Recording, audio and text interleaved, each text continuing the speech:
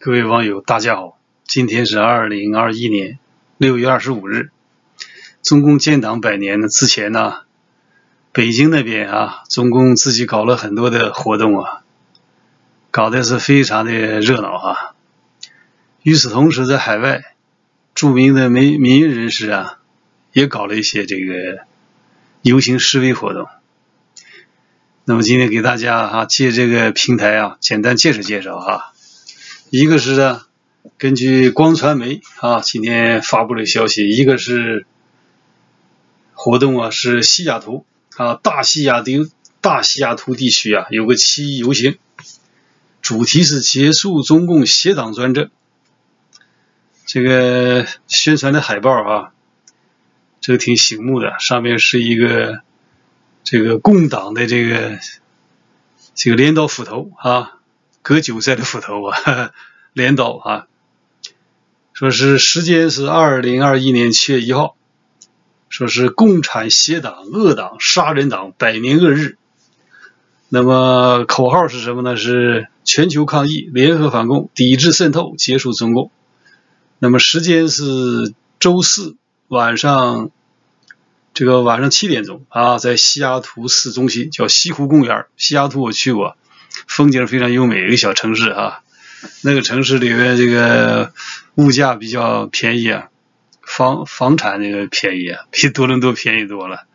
那里有个独立屋也就几十万吧，现在可能不行了。我记得几年前我去啊，这个价格比较便宜。这个活动就在西雅图啊西湖公园举办啊。他说还有其他的一些这个好像还有地点等待确定啊。组织者是中国民主人权联盟啊，这是从网络看的啊，我们就不太了解啊。民主中国阵线、中国民主党、中国民联、美国支持民主团体联合举办啊。后边有一个联系的这个信息啊，给大家看一下啊。你们感兴趣的可以参加啊，通过这个信息去这个联系啊。这是一个消息。那么另一个消息呢，也是这个光传媒报道的，这个也就是光传媒杂志啊网刊举办了一次百年中国中共百年直播一个小一百个小时的研讨会，一百个小时这时间够长的了，但是这个报道呢没有讲就究竟什么人参加哈，具体名单没有讲，我估计可能没有确定，他的他是这样讲的啊，他说这次这个活动啊。由光传媒主办的“百年中国”中国百年研讨会，六月二十七号上午十点钟美东时间，在美国首都华盛顿召开。研讨会将采取线下和网上网络同步进行的方式进行啊，同步的方式进行。那么，持续约一百个小时的直播论坛论坛啊。这个论坛这个规模挺大的，而且时间这个够长啊，将有多位华人界著名人士嘉宾共同参与发表演讲。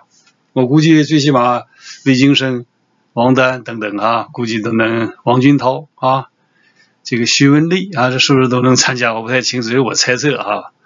那么这篇文章没有讲，他说恰逢中国共产党成立一百周年。这个回顾中华民族百年历史，中共成立、发展、壮大以及啊篡夺领导权的血腥统治，数代华人历经战乱、动荡、颠沛流离、政治动荡的血历史啊，这个是这是件大事哈。本次研讨会将在回顾历史的基础上，探讨和展望中华民族未来。希望通过这次研讨会，有更多华人同胞看清中共本质和中国现状，关注中华民族未来的发展。那么这篇文章讲，再次呼吁全球华人共同参与，一起行动起来，推翻、推动中国实现民主，建设美好家园。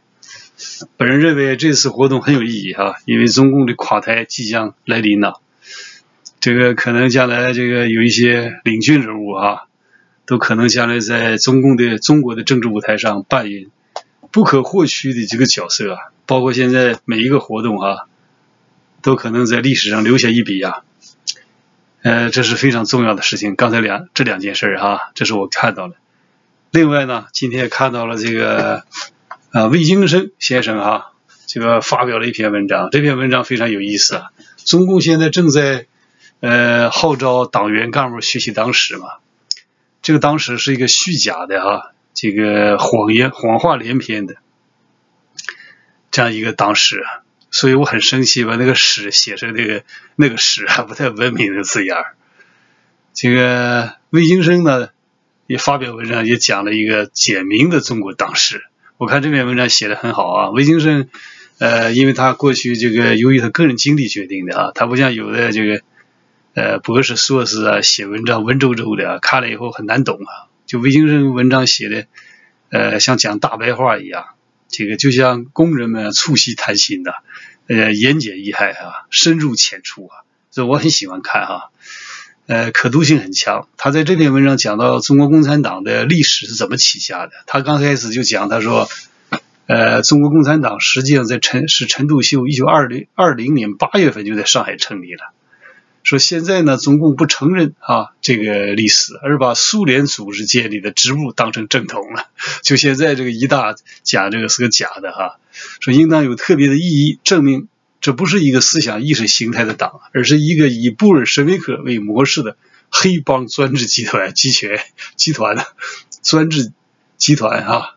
这魏京生这个这个非常直白啊，他说很多人都困惑，如今这么丑恶的一个镇压机器啊，怎么能活一百年还有滋有味儿，日益强硬？说他的底气来自哪里呢？魏京生说呢，共产党成立的历史背景是上个世纪清朝灭亡的前后啊，是中国知知识界那时候这个全面学习西方的先进文化技术啊。其其中大部分人呢半懂不懂，甚至呢自我吹嘘，形成了一种崇洋门外的门外的文化潮流。在中国，个个都是懂西洋文化的学者，到了西方和日本就成了中国通。其中最典型的莫过于郭沫若啊，他说这些知识分子啊都有深厚的中国传统文化的功底。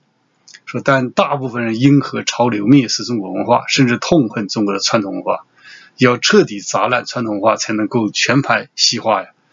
这就是文化大革命的概念的来源，是崇洋媚外、全盘西化，这是中国百年灾难的开始。